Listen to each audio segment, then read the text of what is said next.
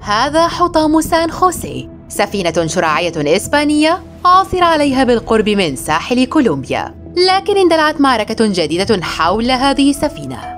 فعلى متن هذه السفينة عثر الغواصون على كمية هائلة من الذهب والفضة وأحجار كريمة تقدر قيمتها بحوالي 20 مليار دولار.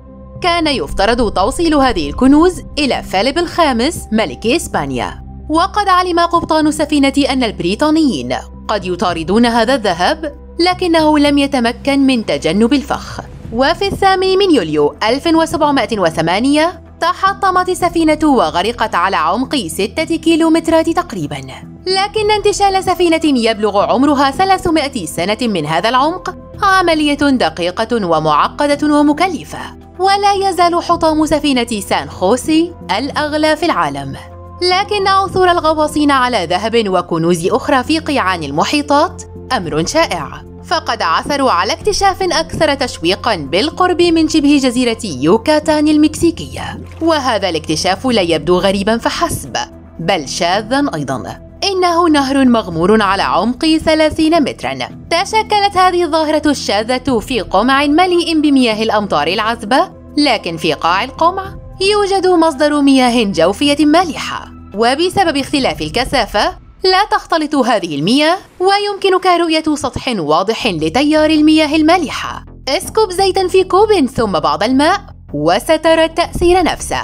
أصبح سينوتي أنجليتا مكانا معروفا للغواصين ومصدرا للصور المضحكة.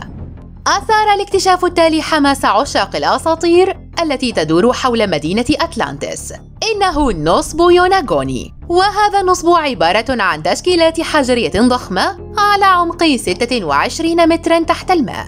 تتبع الغواصون المحيطات الواضحة للأهرامات والشوارع والسلالم هناك. وتعادل مساحة الهيكل بأكمله حجم نصف ملعب كرة قدم.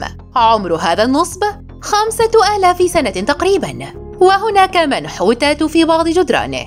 ويعتقد الكثيرون أنه بقايا الحضارة الأسطورية مو أو ليموريا لكن التقنية المتاحة في هاتين الحضارتين لن تسمح لهما ببناء هيكل كهذا. انتشرت العديد من الأساطير والنظريات حول نصب يوناغوني إلى جانب الكثير من الشكوك أيضا.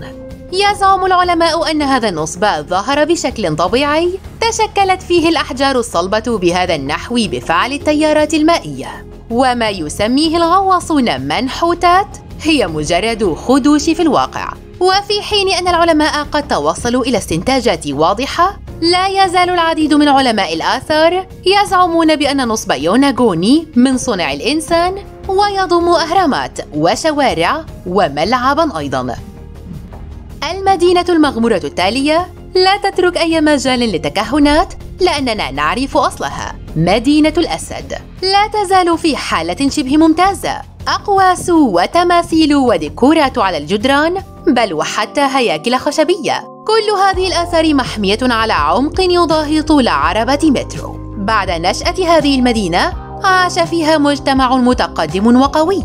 ويبلغ عمر بعض الاكتشافات هناك 1300 سنة تقريبا. في عام 1959 أغرقت هذه المدينة بالمياه لبناء محطة جديدة لتوليد الطاقة الكهرومائية. لذا في موقع هذه المدينة العظيمة يقف حاليا سطح مائي من صنع الإنسان بحيرة كيان داو وكان هذا المكان طي النسيان لعقود من الزمن حتى عام 2001 عندما عثرت عليه مجموعة غواصين بالصدفة. وفي الوقت الحالي يحظى هذا الموقع بشعبية بين الغواصين المتمرسين من جميع أنحاء العالم. شذوذ بحر البلطيق. أثار هذا الجسم الغامض الكثير من الخلافات ونظريات المؤامرة حول العالم. فقد اكتشف في يونيو 2011 في بحر البلطيق ويشبه الجسم مركبة صقر الألفية في فيلم حرب النجوم ويعادل حلبة الهوكي في الطول. ويعتقد الكثيرون أنها سفينة فضائيين طائرة تحطمت على كوكبنا. في حين يعتقد البعض الآخر أنها بقايا مدينة قديمة غرقت في أمواج البحر قبل زمن طويل. عندما تمكن الغواصون أخيرا من الوصول إلى هذا الجسم الغريب أخذوا عينات منه وقدموها للعلماء لتحليلها. كان هذا التكوين الحجري جزءا من كتلة جليدية وهناك الكثير من الكتل الجليدية في هذه المنطقة. ومع ذلك يواصل الفريق الذي اكتشف هذا الشذوذ الادعاء بأنه أكثر من مجرد كتلة. ويزعمون أن جميع معداتهم الكهربائية تعطلت عند اقترابهم من هذا الجسم. وعندما عادوا عادت المعدات إلى العمل. هذا غريب. لرؤية هذه المدينة المغمورة يمكنك الغوص بدون معدات الغوص الخاصة. اسم هذه المدينة هيراكليون وتعرف أيضا باسم ترونيس وتقع على عمق يقارب طول حافلة مدرسية.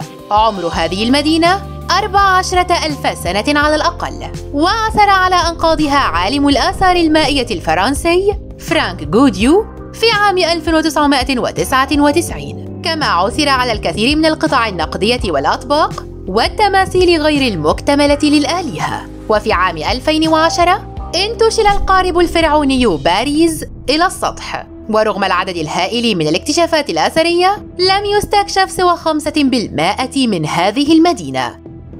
في عام 2020 صادف الغواصون حالة شاذة غير معروفة. جسم لولبي مضيء بحجم هائل. يجلس هذا الجسم بهدوء في قاع البحر بالقرب من ساحل استراليا الغربي. اتضح أنه كائن حي يسمى أبوليميا لكنه ليس مخلوقا واحدا بل مستعمرة كاملة من كائنات بحرية تسمى سيفونوفورس. تتشبث هذه الكائنات ببعض وتأخذ شكلا شبيها بحريش بطول لا يصدق. يبلغ طول الحلقة الخارجية لهذا الأبوليميا اللولبي حوالي 47 مترا. ومن باب المقارنة بلغ طول أكبر حوت أزرق عاش على الأرض 30 مترا فقط. لكن الحقيقة الأكثر مفاجأة أن هذا الكائن مفترس. وتبين أن هذا المخلوق الحلزوني له أجزاء مسؤولة عن الصيد وأجزاء لهضم الطعام. لا يجلس الأبوليميا في القاع في انتظار سقوط الطعام في فمه. بل يسبح ويبحث عن عوالق صغيرة وأسماك وحتى كائنات أبوليميا أخرى. ورغم ندرته الفائقة فيجب عليك الحذر منه لأن لسعاته خطيرة للغاية. آلية أنتي كيسيرا قلها معي أنتي كيسيرا في عام 1901 اكتشف طاقم غوص لصيد الإسفنج حطام سفينة شحن رومانية بعمق يعادل عرض ملعب كرة قدم. جمع الطاقم عدة قطع أثرية ثمينة تماثيل برونزية ورخامية وفخاريات ومجوهرات وجهاز كمبيوتر. ماذا؟ كمبيوتر على متن سفينة رومانية؟ تمام. تعد آلية أنتي كيسيرا أحد أقدم نظائر الكمبيوتر الحديث.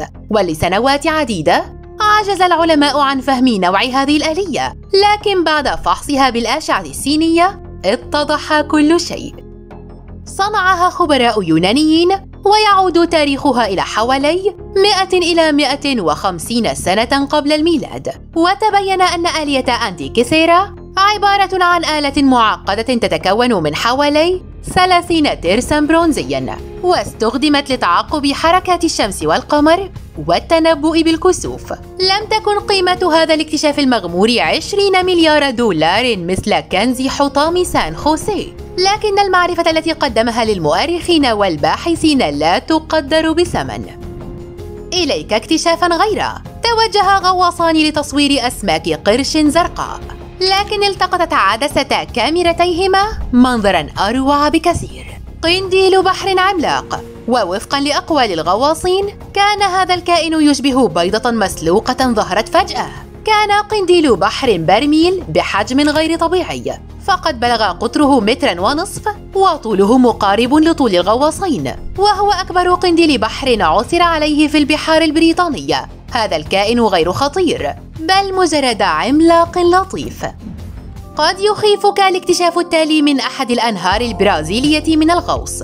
أناكوندا عملاقة. فقد صور بارتولوميو بوف وشريكه أحد أكبر أفاعي الأناكوندا في العالم. عادل طولها طول زرافة بالغة ووزنها أكثر من متوسط وزن الإنسان. وفي حين أن بارتولوميو اعتاد على السباحة بالقرب من أسماك القرش لكن كانت مواجهة هذه الأفعى تجربة مرعبة من حسن حظه أن الأفعى كانت مسالمة وتشعر بالفضول. من المثير للدهشة أن أحد أكثر الأماكن تشويقا للغوص بعيد كل البعد عن البحار والمحيطات كهف أوردا. اكتشفت كهف أوردا في غرب جبال الأورال. وهو على شكل سايفون. يمتد الجزء المغمور من نظام الكهف لمسافة 4.8 كيلومترات. وهذا ما يجعله أحد أطول الأنفاق المائية على الأرض. لكن أكثر ميزة بارزة فيه مياهه فبيئة الكهف الغنية بالمعادن تنظف الماء وتجعله صافيا. لذا يمكن للغواصين الرؤية بوضوح لمسافة 46 مترا مما يجعل كهف أوردا مكانا مثاليا للتصوير الفوتوغرافي تحت الماء. مثل ذلك الأخطبوط العملاق الذي يوشك على الهجوم عليك. هاها عليك واحد.